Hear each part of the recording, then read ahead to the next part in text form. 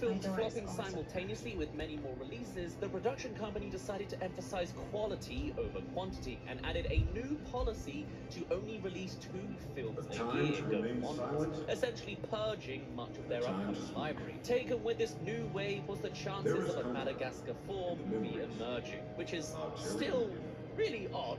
Being one of the top three most successful DreamWorks productions would surely mean it would keep up high on our priority list, but then again, after 2014, there seems to be a highlight on new projects instead of the sequelitis that plagued much of the rest of the industry at the time. I mean, sure, there was still Penguins of Madagascar and Kung Fu Panda 3 and How to Train Your Dragon 2, but they're smaller numbers than 4. So maybe they just deemed the series as past its prime, or could So, only... In April 2017, Tom McGrath, writer of all things Madagascar, as well as the voice actor for Skipper, equally confusing, and though we may have bridged into fan territory in some places, I mean, at least I like the idea. What do you guys think? You can be assured of one thing. This one source of an IMDb page certainly ain't me. According to this, except for a December 31st release of this year, no plot is known yet, and will feature an iconic cast of Jamaica as Tyler. No one else.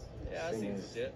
Yeah, I'll keep an eye on this space. Otherwise, these characters will just be left out in the ether. Perhaps there's still a proper ending for them, or maybe they've already met their ending. After all, there's at least going to be another year's waiting for release, since 2021 is double booked with Boss Baby 2 and Spirit Untamed, and then 2022 has The Bad Guys apparently upcoming soon. I don't know what that means, but it'll have to be a late. Has The Bad Guys apparently upcoming soon. I don't know what that means. In two weeks, can't wait to review that. Yeah, come in. Um, I just wanted to come in and say thank you for keeping me on the case. Well, right now you're gonna take a week's medical leave. I appreciate it, but I'm fine, really. It's not open to discussion.